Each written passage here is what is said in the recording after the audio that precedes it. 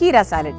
ముందుగా కీరా సాలెడ్ తయారు చేసుకోవడానికి కావాల్సిన పదార్థాలు ఏంటో చూసేద్దాం. కీరా సాలెడ్ తయారు చేసుకోవడానికి కావాల్సిన పదార్థాలు కీరా ముక్కలు ఒక కప్పు టమాటా ముక్కలు ఒక కప్పు క్యారెట్ ముక్కలు ఒక కప్పు క్యాబేజ్ తురుము ఒక కప్పు పుదీనా కొద్దిగా పచ్చిమిరపకాయలు మూడు ఉప్పు తగినంత నిమ్మరసం ఒక టేబుల్ స్పూన్ మిరియాల పొడి ఒక టేబుల్ స్పూన్ చాట్ మసాలా ఒక టేబుల్ స్పూన్ కొత్తిమీర కొద్దిగా. కీరా సాలెడ్ తయారు చేసుకోవడానికి కావాల్సిన పదార్థాలన్నీ కూడా సిద్ధంగా ఉన్నాయి.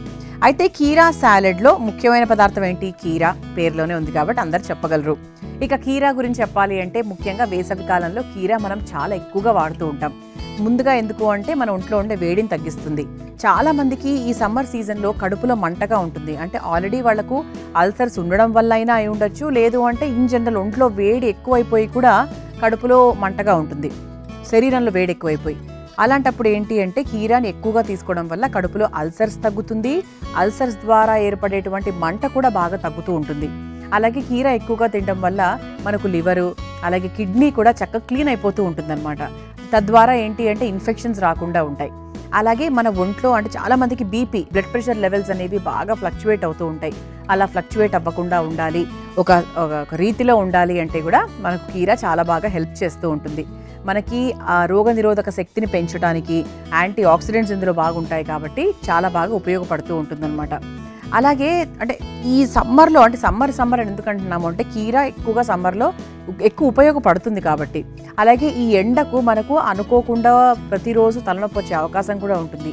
అలా ఏదైనా తల నొప్పి తల పోటు తల భారంగా ఉన్నప్పుడు కూడా కీర బాగా హెల్ప్ చేస్తుంది. ఇక అందరికీ తెలిసింది ఏంటి అంటే కీరాని చ- ఇట్లా గుండ్రంగా చక్రాల్లాగా కట్ చేసుకుని కంటి మీద మనం పెట్టుకున్నట్టయితే కంటి కింద ఉన్నటువంటి డార్క్ సర్కిల్స్ అంటాం కదా ఆ నల్ల వలయాలు ఏమన్నా ఉంటే కూడా చాలా వరకు తగ్గిపోతాయి. అలాగే కళ్ళు కూడా చాలా కూల్గా ఉంటాయి. కళ్ళు కూల్గా ఉంటే మన బాడీ కూడా ఆటోమేటిక్గా కూల్ అయిపోతూ ఉంటుంది. అందుకే ఏంటంటే మనకు కీర డైరెక్ట్గా పచ్చిగా అలా చక్కగా తీసేసుకోవచ్చు. లేదు అంటే ఇలా సాలెడ్ రూపంలో మిగతా కూరగాయలన్నింటినీ కూడా కలిపి చాలా రుచికరంగా కూడా తినచ్చు అనమాట మొదలు పెట్టేద్దామా?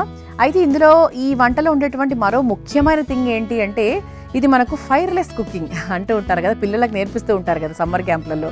అలా అనమాట అంటే ఈరోజు వంట మనకు మంట లేకుండా చేసుకుంటున్నాం అనమాట మొదలు పెట్టేద్దామా? ముందుగా ఒక మిక్సింగ్ బౌల్ తీసేసుకుందాము. అయితే ఇది ఏ సీక్వెన్స్లో వేస్తాము అంటే కూరగాయలన్నీ కూడా ఇక్కడ చూసారా? క్యారెట్ని కూడా ఇలా మనకు సర సన్నగా పొడువుగా తరుక్కున్నాం. టొమాటో ముక్కల్ని కూడా సన్నగా పొడుగ్గా తరుక్కున్నాం. కీరా ముక్కల్ని కూడా కొంచెం చిన్నగా తరుక్కున్నాం. ఇది క్యాబేజీ ఇక్కడ దేనికి కూడా మనకు వంటలో వేయించుకొని వచ్చే రుచి అనేది ఏ కాదు. ఇలా చక్కగా వేయించుకోకపోయినా కూడా ఇవన్నీ కూడా రుచికరంగానే ఉంటాయి. ఇవన్నీ కూడా మనం పచ్చిగా తినేటువంటి కూరగాయలే. అయితే సీక్వెన్స్ ఏం చేద్దాం? ముందుగా మన ముఖ్యమైన పదార్థం కీరానే వేసేసుకుందాం. ముందుగా కీరా. ఆ తర్వాత టొమాటోలు. ఆ తర్వాత క్యారెట్. ఆ తర్వాత క్యాబేజ్. కొంతమందికి చిగుళ్ళ నుంచి రక్తం ఊరుకూరికి కారుతూ ఉంటుంది. అలాంటి వాళ్ళకి కూడా మనకు టూత్ హెల్త్ అంటాం కదా దంతాలు ఆరోగ్యంగా ఉండడానికి కూడా మనకు కీర చాలా బాగా పనిచేస్తూ ఉంటుంది. ఓకే? అలాగే ఇంకా బోల్డ్ ఉన్నాయండి కీరాతో మనకు రకరకాల జ్యూసుల్లో కూడా కీరా యాడ్ చేస్తూ ఉంటారు. కీరాతో సాలడ్ ఇలా తయారు చేసుకోవచ్చు. కీరాతో చట్నీ కూడా మన అమృతం కార్యక్రమంలో మేము పరిచయం చేశాము. అలా బోల్డ్ రకాలు చేసుకోవచ్చు. ఇలా ఈరోజు నేను కీరా క్యారెట్ టొమాటోలు అలాగే క్యాబేజ్ ఉపయోగించాను. ఆ తర్వాత దీంట్లో రుచి కోసము చక్కగా మన ఒంట్లో ఉండే వేడిని తగ్గించడానికి చాలా బాగా పనిచేసే మరో చక్కటి పదార్థం ఏంటి అంటే పుదీనా అన్నమాట. పుదీనా కూడా చక్కగా ఇలా వేసేస్తున్నాను.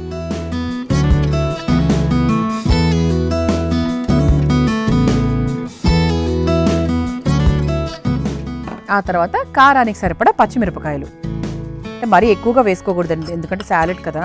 మరి ఓవర్గా అలా మన కుకింగ్ లాగా వేసేసుకోకూడదు. కొంచెం చూసుకొని వేసుకోవాలి. అంటే మనకు ఆ చిరుకు కారం కోసం. ఆ తర్వాత దీంట్లో కాస్త ఉప్పు వేసేసుకుందాం. సాలెడ్ కాబట్టి ఉప్పు కూడా మరీ ఎక్కువగా వేసేసుకోకూడదు కొంచెం మాత్రం వేసుకుందాం.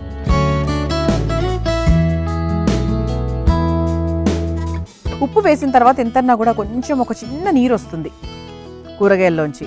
అది మనం బాండి పెట్టినప్పుడే కాదు ఇలా మనం పచ్చిగా వేసుకున్నా కూడా వస్తుంది. ఒకసారి కలిపేసుకుందాం.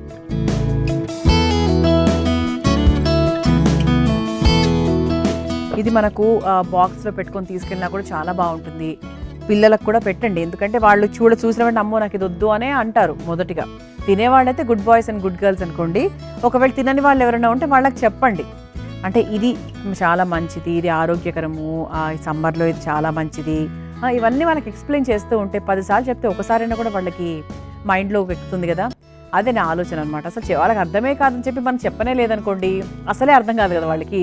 ఏంటంటే వాళ్ళు చాలా తెలివైన వాళ్ళు. ఇప్పుడు జనరేషన్ ఇంకా చాలా ఫాస్ట్గా ఉన్నారు కాబట్టి వాళ్ళకి ఎక్స్ప్లెయిన్ చేస్తే ఏంటంటే కనీసం వాళ్ళు అందులో ట్రై చేస్తారు. నచ్చిందనుకోండి హ్యాపీగా కంటిన్యూ చేస్తారు. అది మన ముఖ్యమైన ఉద్దేశం. అలాగే మన ఇంట్లో ఉండే పెద్దవాళ్ళకు కూడా ఇలాంటివి చేసి పెడుతూ ఉంటే ఈవినింగ్ టైమ్స్ స్నాక్ లాగా తినొచ్చు అల్పాహారంగా తింటే ఇంకా మంచిది. పొద్దున్నే బ్రేక్ఫాస్ట్ ఎంత మంచిగా అంటే మన పొట్టకి రాత్రంతా ఖాళీగా ఉంటుంది కాబట్టి ఉదయాన్నే మనం ఇచ్చే ఆహారంతోనే మనకి రోజంతా మనం ఎలా ఉంటాము అనేది డిపెండ్ అవుతుంది. అందుకు ఉదయాన్నే ఇటువంటి హెల్దీ ఫుడ్ మనం తీసుకున్నామంటే మన ఒంట్లో ఉండే ప్రతి ఆర్గన్ కూడా చాలా హ్యాపీగా ఫీల్ అవుతుందన్నమాట. ఆ తర్వాత ఇందులో కాస్త కారానికి తగ్గట్టుగా కొన్ని పచ్చిమిరపకాయలు వేసుకున్నాం కాబట్టి కొంచెం మిరియాల పొడి వేసుకుందాం. కొంచెం కారానికి తగ్గట్టుగా అన్నాను కదా చూసుకొని వేసుకోవాలి. ఆ తర్వాత చాట్ మసాలా కొంచెం మనకు ఆ చట్పట్ రుచి కోసం వేసుకోవాలి. ఒకవేళ పెద్దవాళ్ళు తింటున్నారు వాళ్ళకి ఏమన్నా అంత ఇష్టం లేదు అనుకుంటే మనం చాట్ మసాలా తీసేయచ్చు. ఇవ చాట్ మసాలా ఏంటంటే జస్ట్ రుచి కోసమే అండి. అదే మీరు మిరియాల పొడి తీసుకున్నారనుకోండి మిరియాల పొడి రుచి కోసము ఆరోగ్యం కోసం కూడా. ఎందుకంటే మిరియాలతో ఎన్ని రకాల ఉపయోగాలు ఉన్నాయో మనం చాలా వీడియోస్లో మాట్లాడుకున్నాం మనం ఎపిసోడ్స్లో. కదండి? మనకి మిరియాల పొడి శ్వాసకి చాలా మంచిది గొంతుకు చాలా మంచిది ఒంట్లో ఉండే ఇన్ఫెక్షన్స్ని తీసేయడానికి చాలా బాగా పనిచేస్తుంది. అలా. అందుకే ఏంటంటే మిరియాల పొడి అనేది ఆరోగ్యానికి మంచిది కాబట్టి దాన్ని మనం తీసేయకూడదు. చాట్ మసాలా అనుకోండి పర్వాలేదు. మీరు తీసేసినా కూడా ఇబ్బంది ఏం లేదు. ఇది ఒకసారి కలిపేసుకుందాం. మీరు మన ఇంట్లో ఆలివ్ ఆయిల్ ఉంటే కనుక మీరు కాస్త ఇందులో ఆలివ్ ఆయిల్ కూడా వేసుకోవచ్చు. ఇందులో. కొంతమంది దగ్గర ఆలివ్ ఆయిల్ సాధారణంగా అంటారు వండడానికి వాడకూడదు అని. అది కొంతవరకు కరెక్టే అండి. ఆలివ్ ఆయిల్ ఓన్లీ మనం పైన నుంచి ఇలా సాలెడ్స్కి పైన నుంచి వేసుకోవడానికి ఆలివ్ ఆయిల్ చాలా బాగా ఉపయోగపడుతూ ఉంటుంది. మనకు స్ప్రేస్ కూడా ఉంటాయి. ఆయిల్ స్ప్రేస్ కూడా. అలా కూడా మీరు నీట్గా ఇలా కొంచెం కావాల్సి ఉంటే వేసేసుకోవచ్చు. అలాగే కొంచెం కొత్తిమీర వేసుకొని ఒకసారి కలిపేసుకుందాము.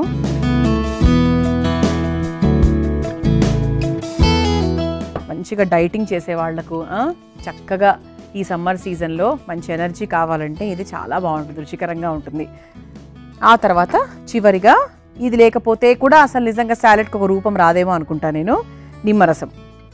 నిమ్మరసం కూడా చక్కగా ఒక టీ స్పూను ఒకటిన్నర టీ స్పూను మంచి వైటమిన్ సి ఉంటుంది కాబట్టి చాలా హెల్దీ ఎటువంటి ట్యాబ్లెట్స్ లేకుండా ఉసిరికాయ నిమ్మరసము వీటితో మంచి విటమిన్ సి మన శరీరానికి అందుతుంది కాబట్టి చక్కగా ఇవన్నీ కూడా మన ఇంట్లో ఉండే వాటితోనే మనకి ఎన్నో వస్తూ ఉంటాయి. వాటిని పక్కన పెట్టి మనం మెడికల్ షాప్కి వెళ్తూ ఉంటాం. అది కరెక్ట్ కాదు కాబట్టి ఈ విధంగా చక్కటి ఆరోగ్యకరమైనటువంటి సాలెడ్తో మంచి పదార్థాలను ఉపయోగించి ఈరోజు కీరాతో స్పెషల్ సాలెడ్ మనం తయారు చేసుకున్నాం. ఇప్పుడే నిమ్మరసం పిండుకున్నాం కాబట్టి ఇది ఒక ఐదు నిమిషాలు వదిలేస్తే చక్కగా ఆ మసాలా మనం వేసిన చాట్ మసాలా మిరియాల పొడి నిమ్మరసము ఇవన్నీ కూడా కలిసి మనకి కూరగాయ ముక్కలకు బాగా పడతాయి అనమాట ఒక ఐదు నిమిషాలు దీన్ని వదిలేస్తే ఇంకా చాలా బాగుంటుంది. మనము ఈ సాలెడ్ ఈ కీరా సాలెడ్ తయారు చేసుకుంటున్న దాంట్లో అన్నీ వేసేసుకున్నామండి. నిమ్మరసంతో పాటు అన్నీ వేసేసుకున్నాం. మరి మీకు వచ్చే సాలెడ్స్ ఏవైతే ఉన్నాయో వాటిల్లో ఇలా కూడా అంటే మనకు చక్కగా కూరగాయల్ని కూడా అన్నీ ఇంక్లూడ్ చేస్తూ దీంట్లో మీ ఇంట్లో ఉండేటువంటి కూడా యాడ్ చేసుకోవచ్చు. అంటే రకరకాలు. ఇందులో పనీరు ఇంకంటే ఇంకా అంటే మనకు కావాల్సినవి మనకి ఇష్టమైనవి ఇంకేదైనా యాడ్ చేసుకోవాలంటే కూడా చక్కగా చేసుకోవచ్చు.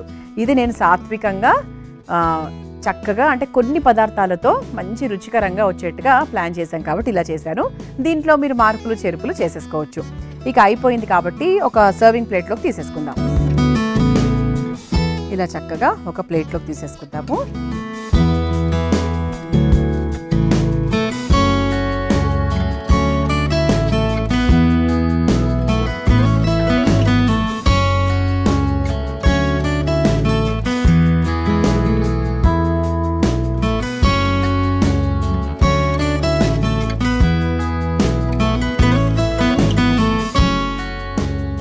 అసలు మనకు ఈ పక్కన గార్నిష్ చేసినటువంటి ఆ పదార్థాలు మన సాలెడ్ మొత్తం కలిసిపోయింది.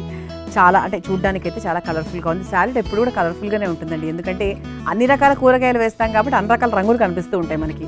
చాలా ఆరోగ్యకరమైన చక్కటి కీరా సాలెడ్ని మీ అందరికీ తయారు చేసి చూపించాం. మీరు నేర్చుకోండి. ముందుగా కీరా సాలెడ్ తయారు చేసుకోవడానికి కావాల్సిన పదార్థాలు తయారు చేసుకునే విధానం మరొకసారి చూసేయండి. కీరా సాలెడ్ తయారు చేసుకోవడానికి కావాల్సిన పదార్థాలు కీరా ముక్కలు ఒక కప్పు టమాటా ముక్కలు ఒక కప్పు క్యారెట్ ముక్కలు ఒక కప్పు క్యాబేజ్ తురుము ఒక కప్పు పుదీనా కొద్దిగా పచ్చిమిరపకాయలు మూడు ఉప్పు తగినంత నిమ్మరసం ఒక టేబుల్ స్పూన్ మిరియాల పొడి ఒక టేబుల్ స్పూన్ చాట్ మసాలా ఒక టేబుల్ స్పూన్ కొత్తిమీర కొద్దిగా.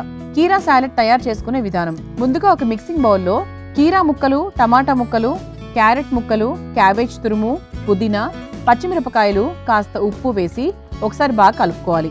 ఇప్పుడు ఇందులో మిరియాల పొడి చాట్ మసాలా కాస్త కొత్తిమీర నిమ్మరసం వేసి అన్ని బాగా కలుపుకొని చివరిగా ఒక సర్వింగ్ ప్లేట్లోకి తీసుకొని సర్వ్ చేసుకుంటే కీరా సాలెడ్ రెడీ